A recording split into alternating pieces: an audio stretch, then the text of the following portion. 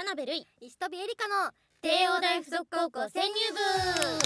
はい鬼川夏役の田辺瑠衣です。はい東方ゆうき役の石飛エリカです。この番組はシーズン4が開幕し新たなステージに入った六本木サディスティックナイトの魅力を深く深く追求して皆様にお伝えしていきます。どうぞ最後まで楽しんでください。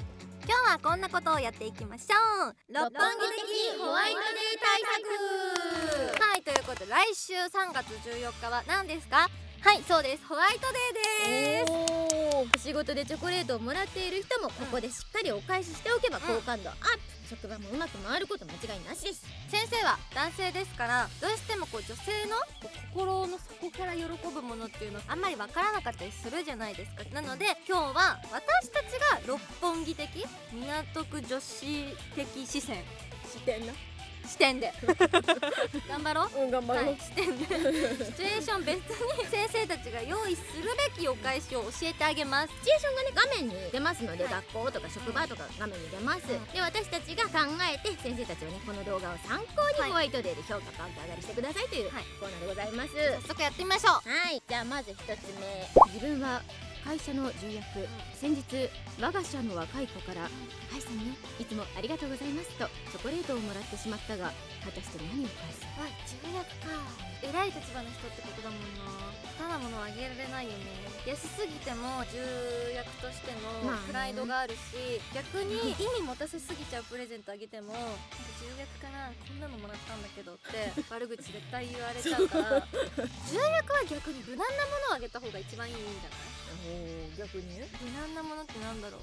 それを考えるとなんだけど偉い立場の人なんだとしたら、うん。普通にそれなりのものあげていいと思うんだ。何がいい？私だったらブランドもののタオルとかハンカチとか自分じゃ買わないからさ、いいタオルとか重すぎないものって考えるとそれぐらいがいいんじゃないかな、どう。ですかいいと思う。ハンカチ確かに。私ももらったハンカチしかないかも家に いいやつとかだったらうんうん。嬉しいんじゃないかな、確かに。ブランド物のハンカチあげてみてください。はい。続いて自分はパーソナルトレーナー先月のバレンタインに担当している子から「はいバレンタインです。コーチのおかげで頑張れてます」とチョコレートをもらってしまったが果たして何を返そう？パーソナルトレーナーだからプロテイン。どう？いいんじゃない？コーチだよ。カロリー気にしちゃうじゃん自分のおすすめのプロテインとか。消耗品の方が嬉しいから、あー確かに。うん、これぐらいの関係値。うん形が残らないものうん じゃあプロテイン。次。俺は学校の教員担任の生徒から「先生大好きです。本気です。バレンタイン受け取ってください」と女子数名の前でチョコレートをもらってしまったが果たしてどうしたら受け取っていいんですか先生。今のご時世やっぱさその生徒と教師とかねリアルで考えたらちょっとなんか2次元ぐらいで考えといて。先生がするお返しってなんだろうね。二次元で考えるとしたらよ。いいペンとか。いいね。二次元で想像して。お返しでいつも頑張ってるからっていいペンもらったとする、なんでペンってってなるじゃん、一瞬ね一瞬ね。一瞬なるけど、うん。でも学校でこれ使えるの？確かにそれをこれ調ばせてそのペン使うたんびに先生のことを思い出して私なんか先生のことばっか思い出しちゃってる。ってなるってことだ。あそうだ。あ二次元だとね。あそういうことだ。二次元だと二次元だったらペン一番もらって嬉しいの？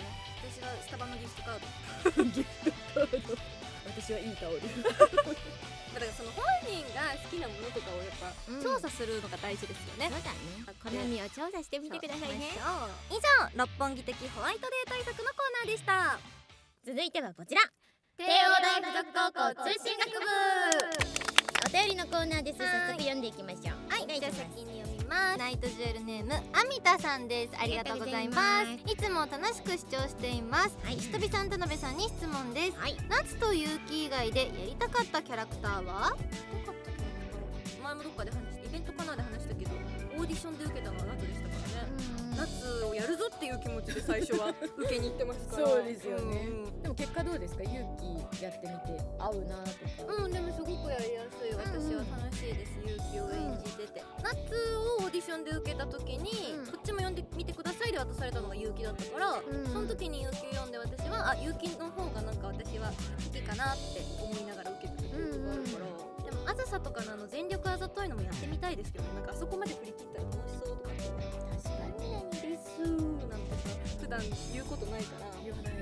そうだよね。楽しそうだなって思って。確かに。かな。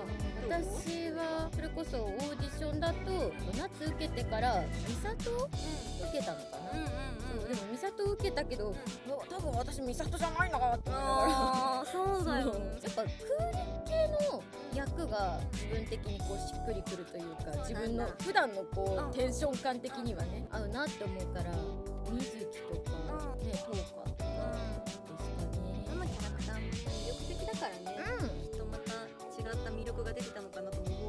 この番組では皆様からのお便り大募集しています。ゲームや番組の感想もちろん先生の近況なんかも概要欄からどしどし送ってください。以上帝王大附属高校通信学部のコーナーでした。ここからは六本木サディスティックナイトの告知をしていきますよ。アプリ六本木サディスティックナイトでは協力イベントパジャマなパーティー計画中を開催中です。新規カードはレン、勇気、トーカ、香りとなっております。春は眠くなる季節。パジャマ姿ぜひイベントに参加して新規カードをゲットしてください。イベント限定カードとなっておりますので取り逃しのないよう今すぐアプリをチェックしてくださいね。シーズン4も開幕しますますパワーアップして展開していく六本木サディスティックナイトをこれからもよろしくお願いします。この田辺瑠衣石飛有香の帝王大附属高校潜入部は次回は3月13日生配信です。チャンネル登録をして通知をオンにして絶対見に来てくださいね。じゃあ先生また来てね